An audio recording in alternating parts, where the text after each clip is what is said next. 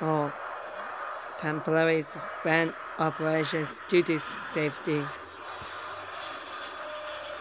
safety issues. Uh, in Australia,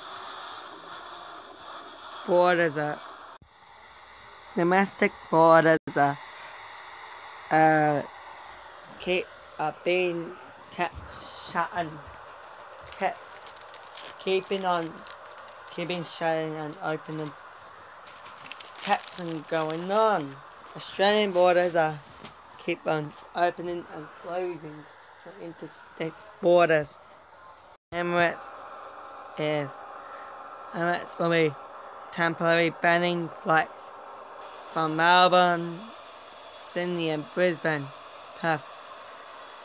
Of a new of a new UK strain is spreading.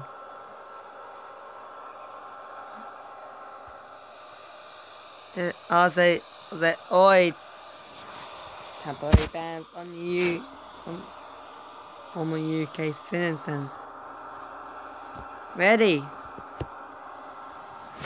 Means that the new variant is spreading more quicker than the original strains. And the interstate borders will also be closed. Gonna be closed again. It's kind of a new strain. Two new strains.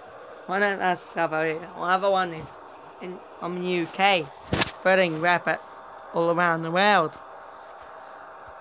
And like three Australian mega cities. There's a new, new Australia spreading. Staying my heart. And and some three Australian cities and also UK and South Africa. Uh, yeah. Repatriation flights to free Australian carriers home.